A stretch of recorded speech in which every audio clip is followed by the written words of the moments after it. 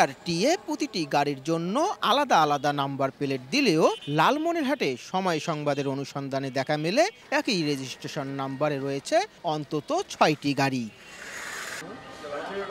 অন্যদিকে জেলায় চলাচলরত যানবাহনে ব্যবহার হচ্ছে ভুয়া রেজিস্ট্রেশন নাম্বার। ট্রাফিক পুলিশের অভিযানে অহরহ ধরা পড়ছে এ ধরনের অনিয়ম।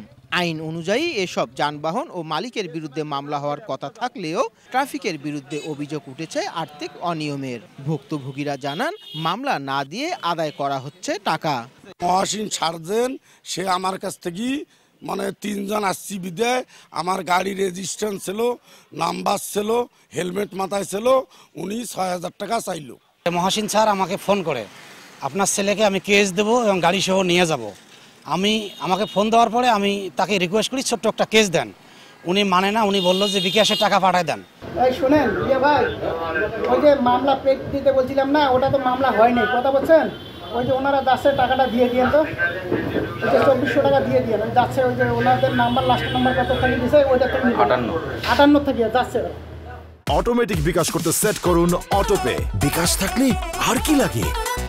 সড়ক পরিবহন আইন দু হাজার আঠেরো এর ধারা সতেরো অনুযায়ী যদি কোনো ব্যক্তি ভুয়া রেজিস্ট্রেশন নাম্বার ব্যবহার বা প্রদর্শন করেন, তাহলে তার বিরুদ্ধে আইন লঙ্ঘনের অপরাধে সর্বোচ্চ দু বছরের কারাদণ্ড, অনাদায়ে পাঁচ লাখ টাকা অর্থদণ্ড হবেই।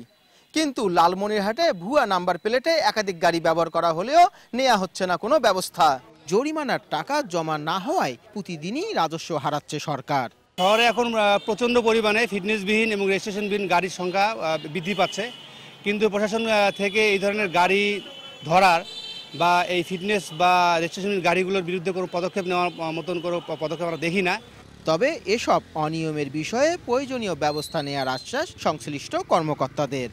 একই নাম্বারের এগনিস্টে যদি একাধিক গাড়ি থাকে বা নাম্বার প্লেট, রেজিস্ট্রেশন সার্টিফিকেট দিয়ে গাড়ি চালায়, সেক্ষেত্রে অবশ্যই আইন আইন শৃঙ্খলা প্রয়োগকারী সংস্থা আছে বা আরও যারা বিভিন্ন দপ্তর আমরা বিআরটি আছি অবশ্যই আমরা আইনগত ব্যবস্থা নেব।